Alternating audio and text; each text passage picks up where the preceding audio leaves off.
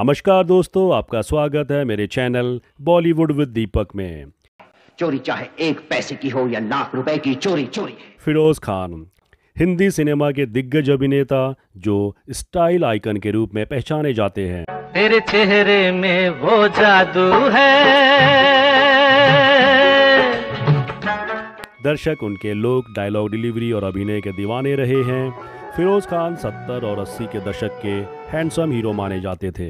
उन्हें बॉलीवुड का cow boy कहा जाता है। बड़े शर्म की बात है कि तुम जैसे बहादुर को भी मेरे ना आने के गम में शराब का सहारा लेना पड़ा।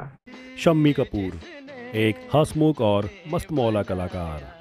चाहे कोई मुझे जंगली कहे कहने दो जी कहता रहे। कभी जंगली बनकर लोगों को हंसाया तो कभी अपने अभिनय से दर्शकों की आँखों को नम किया। हाँ तुम मुझे बुला न पाओगे मैं मुझको लाओगे। अलग अलग अंदाज होते हुए भी शम्मी कपूर और फिरोज खान अच्छे दोस्त थे। क्या कारण था कि एक बार पार्टी में दोनों आपस में भिड़ पड़े? फिर जो उसके बाद हुआ क्या आप यकीन कर पाएँगे? तो चलिए दोस्तों, शुरू करते हैं। आखिर क्या था किस्सा?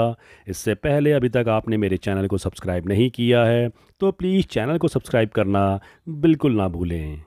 क्या खूब लगती हो, बड़ी सुंदर दिखती मीडिया रिपोर्ट्स के अनुसार ये घटना उन दिनों की है जब राज कपूर बॉबी फ़िल्म बना रहे थे।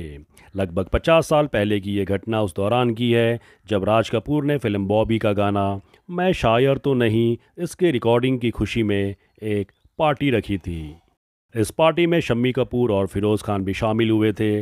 इसी दौरान फिरोज़ खान द्वारा किया गया एक मज़ाक शम्मी कपूर को बिल्कुल पसंद नहीं आया और वो लड़ने पे उतारू हो गए।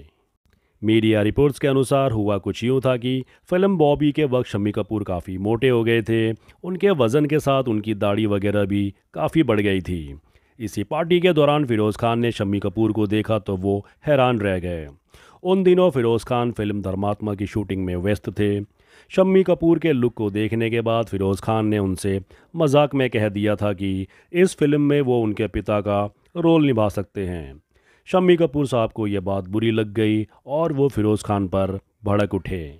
बात तो ये भी कही जाती है कि दोनों के बीच पार्टी में जमकर लड़ाई भी हुई थी। कहते हैं उस समय दोनों शराब के नशे में थे, जिस कारण दोनों की लड़ाई हाथापाई तक पहुँच गई। बाद में लोगों को दोनों की लड़ाई छुड़ाने के लिए बीच में आना पड़ा। दोनों को अलग अलग किया गया। इसके बाद दोनों पार्टी छोड़कर अपनी अपनी गाड़ी में बैठकर वहाँ से चले गए। लेकिन दोस्तों, किस्सा यहीं ख़त्म नहीं होता। इस तरह की लड़ाई एक लंबी दूरियाँ बना सकती है, लेकिन इन दोनों के बीच ऐसा नहीं हुआ। मीडिया रिपोर्ट्स की माने तो उस रात दोनों पार्टी से अपने अपने घर जाने की बजाय हाजी अली पहुँच गए थे।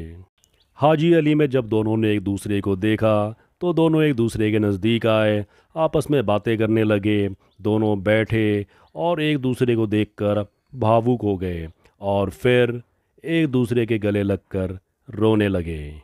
शम्मी कपूर उम्र में फ़िरोज़ खान से आठ साल बड़े थे। बाद में फ़िरोज़ खान ने धर्मात्मा फ़िल्म में पिता के रोल के लिए प्रेमनाथ को चुना। फ़िल्म रिलीज़ हुई तो ज़बरदस्त कामयाब रही। ये एक ब्लॉकबस्टर फ़िल्म साबित हुई थी। इसको प्रोड्यूस और डायरेक्ट फ़िरोज़ खान ने ही किया था। शम्मी कपूर भी उसके बाद चरित्र किरदारों में ही नज़र आए, लेकिन उस वक्त भावनाओं में बहकर धर्मात्मा में फ़िरोज़ खान के पिता का किरदार उन्होंने ठुकरा दिया था। फ़िल्म धर्मात्मा में फ़िरोज़ खान, हेमा मालिनी, रेखा, डैनी, फरीदा जलाल मदनपुरी और प्रेमनाथ जैसे एक्टर्स थे। यह फ़िल्म 1975 में रिलीज़ हुई थी। ये अफ़गानिस्तान में शूट की गई बॉलीवुड की पहली फ़िल्म थी, जो कि फ़िरोज़ खान के करियर को नई ऊंचाइयों पर ले गई थी और एक ब्लॉकबस्टर मूवी साबित हुई थी और इसके साथ साथ इस फ़िल्म के गाने भी बहुत ज़बरदस्त थे। तेरे चेहरे में वो जादू है। किसी से कभी प्यार किया है। दोस्तों, एक बार इसी तरह से फिरोज़ खान का विनोद खन्ना के साथ झगड़ा हो गया था और विनोद खन्ना ने फिरोज़ खान के मुँह पर एक ज़ोरदार तमाचा जड़ दिया था। यहाँ तक कि फ़िरोज़ खान को सौ करोड़ का फ़ायदा भी हो गया था। अगर आप ये जानना चाहते हैं कि ये पूरा किस्सा क्या है तो आप मेरा ये वाला वीडियो ज़रूर देखें। तो दोस्तों, अंतिम तक मेरे साथ बने रहने के लिए आप लोगों का बहुत बहुत शुक्रिया।